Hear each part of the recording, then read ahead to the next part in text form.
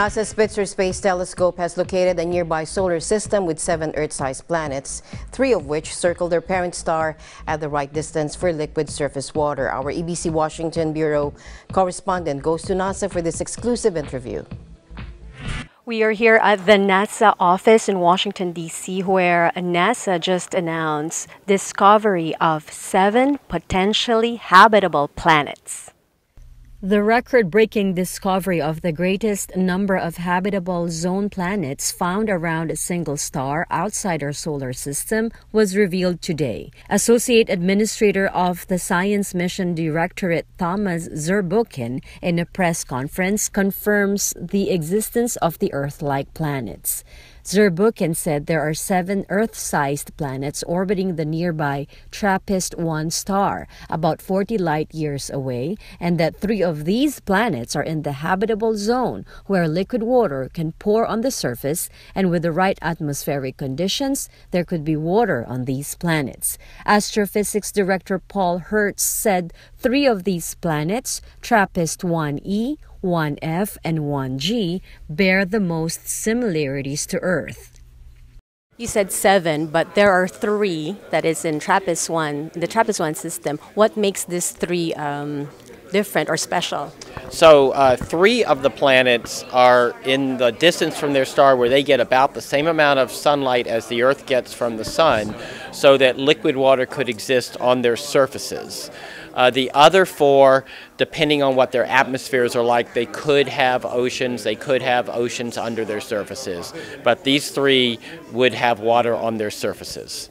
Aside from uh, water and similarities in atmosphere, similarities to Earth, what are the requirements that would make life thrive, mm-hmm. human human life? Right. So what we've learned on the Earth is that everywhere on the Earth where we have water, energy, and nutrients, life takes a hold. And that could be here where we are, of course, but the bottom of the ocean, the tops of mountains, the inside, the tops of the atmosphere, in uh, thermal geysers. I mean, some of the weirdest places on Earth has life if it has those three characteristics. So, in our search to understand whether there's life in the rest of the universe, we're looking for places that have liquid water, energy, and nutrients. And so the first thing is to find solid planets like the Earth, not like Jupiter, that are the right distance from their star so they might have wat- liquid water on their surface. And three of the planets around TRAPPIST 1 definitely have that characteristic,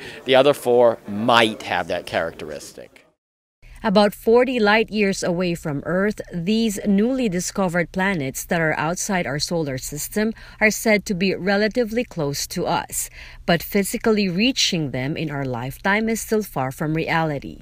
Scientists, however, believe that this recent discovery has made this more possible for future generations.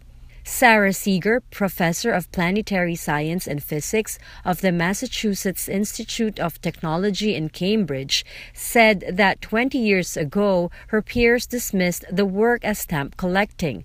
The fact that they are here today with seven planets, knowing their atmospheres may be studied in the future, is tremendous. Paul Hertz said this discovery just leads to more. I think this is just another big step. I think that next year we'll be having even more amazing discoveries. And after we launch the James Webb Space Telescope, which is um, many times more powerful than the Spitzer Space Telescope or even the Hubble Space Telescope. With that capability in space, we'll be making additional discoveries that I think will, will tell us even more about the possibility of life in the universe. In the coming year, NASA says there's more to look forward to as we get to know other systems like TRAPPIST 1. So I think that everybody should be really excited about the year 2018. Uh, in the first next year, um, in the first half of the year, we'll be launching our next exoplanet hunting telescope, a telescope called TESS, and TESS will survey all the stars like TRAPPIST 1 in the sky, looking for more systems like TRAPPIST 1. So we'll find all the other systems that are just as exciting as TRAPPIST 1, and then at the end of 2018, the James Webb Space Telescope will launch, and this is the successor to Hubble. It's uh, got 10 times the size mirrors as Hubble's mirrors, much more powerful, and we'll be studying exoplanets and many other phenomena in the universe uh, with the James Webb, and we'll be learning all sorts of things then. NASA scientists here say that the question now left to ponder upon is not if we will find life on these other planets, but when. Reporting from the NASA office here in Washington, D.C., I am Eliza Gonzalez Manglicmot, and I am one with 25.